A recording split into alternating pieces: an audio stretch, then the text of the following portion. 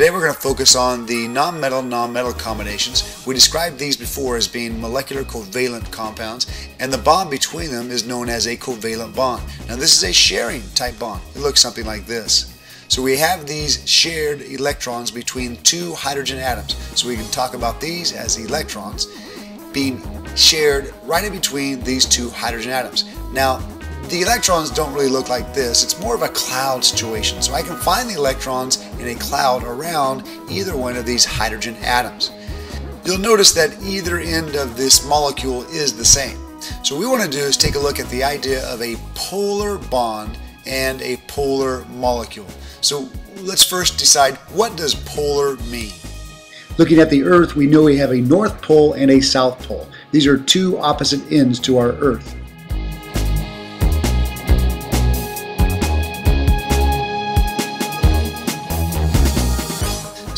How do you share a pizza? I mean, what do you do when you want to share a pizza? You got some friends over, you're gonna share a pizza. What do you what do you do to share a pizza? Here is how I share a pizza. Take a look. That's right, that's right. I get this, and my wife and daughter get this. That, to me, is sharing a pizza. Now, you may not call it sharing, but it is sharing. It's just the idea is that I'm sharing unequally. I'm not going to share a pizza equally. I'm just too big of a pig.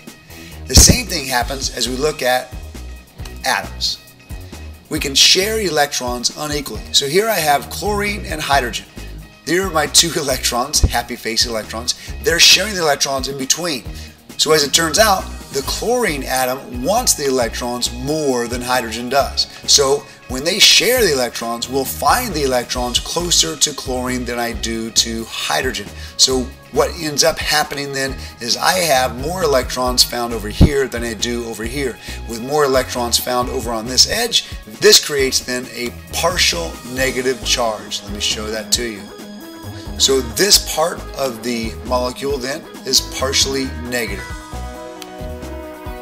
And over here, I have this part of the molecule that is partially positive because the electrons have moved away from this edge of the molecule. So we call this molecule polar, two different ends and they're sharing electrons. We'd also look at hydrogen and fluorine so once again, fluorine wants the electrons more than hydrogen does, so this becomes our partial negative charge here, partial positive charge here. In reality, it's more of a cloud structure. The electrons are found more around fluorine than they are around the hydrogen. So they're sharing then, once again, shared unevenly. This goes back to a property of all matter that they have electronegativity the ability of a bonded atom to pull on shared electrons. So some atoms then want to pull on the electrons more than other atoms do. And yes, this becomes a trend in the periodic table, yet another trend you may want to know for your test that's coming up in a couple of weeks, or I guess less than a week now. Hint, hint, nudge, nudge, wink, wink. We could also do a graph. I know you guys love graphing, so I won't make you graph this, uh, but we could look at a graph as well. We see that same general trend we saw before with atomic radius or with ionization potential. We have a cycle within one period. As we see here, then we understand that our bonding is really a continuum. We have ionic bonding in which electrons are transferred from metal to nonmetal. We have the idea of polar covalent covalent being shared once again, polar covalent, so I have electrons being shared between, but they're closer to one atom than the other, not completely transferred over, but closer to one atom than the other, creating a partial charge on either end. And finally, then we have non-polar covalent, which means I have sharing of electrons and they're shared equally right in between the two atoms. Now, we can also have polar bonds on a molecule and the molecule itself is not polar. As we look at carbon dioxide, this oxygen wants to pull the electrons closer to it and this oxygen, exact opposite direction, wants to pull the electrons closer to it. So what we have then is a canceling out of these polar bonds. So this molecule of CO2 is non-polar. If we look at water, however, water has hydrogen and oxygen, the oxygen once again wants the electrons more than hydrogen does and since we have them being pulled in the same direction, we get a partial charge, partial negative charge at the top here of this water molecule and a partial positive charge at the bottom. This is what's known as a polar molecule, two different ends. It's also called a dipole. So dipole and polar are really the same thing. This is what causes water molecules to be sticky. So I have water molecules here with their partial charges. If they're close to each other, the partial positive charge on this water molecule is attracted to the partial negative charge on this molecule.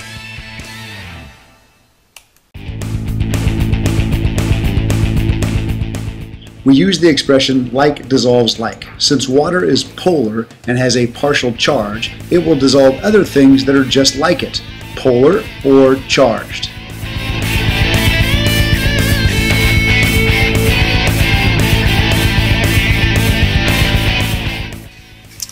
This first example of interparticle attractions, we see why salt is getting dissolved into water. So water rips apart the ions of salt. So there's an attraction between the ion of sodium and the negative, partial negative charge of the water molecule, and also an attraction between the negative chloride ion and the partial positive charge of the water molecule. It looks something like this. So once again, the water molecules are surrounding the negatively charged chloride ion and also surrounding the positively charged sodium ion and kind of moving them away. This is a dissociation reaction and we'll talk more about this when we get into class next time we meet. The second type is a dipole-dipole attraction. We've talked about this already before as we look at water molecules being attracted to another water molecules. It's this positive partial charge here that's attracted to the negative partial charge here. So these are two different water molecules being attracted to each other, dipole here and a dipole here. And once again, this is known as a hydrogen bond. This last one's a little more complicated. This we call a dipole induced dipole attraction. So I start with an oxygen molecule here, and this one is non-polar, so the electrons are right in between both oxygen atoms, and there is no polarity to this molecule. What we're going to do is we're going to give this molecule a dipole situation. So here it is in a dipole situation. So one part is partially charged on this side, the other part is partially negative charged on this side, and we did this because we brought a negative charge close to this oxygen molecule. And when I do that, then the electrons in the middle are moving further away from the middle, away from this negatively charged thing. So we induce a dipole situation on this molecule. Now this positive charge is attracted to the negative, partial negative charge we find on the water molecule. Here's another way to look at it.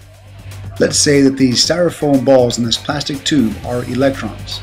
I'll bring this negatively charged tube close to the electrons. So we'll call this situation nonpolar. The electrons are evenly distributed throughout this tube. As I bring the negative charge close to the tube, watch what happens to all my electrons. They move away, creating then a dipole situation. When the negative charge is taken away, the electrons return to that nonpolar state.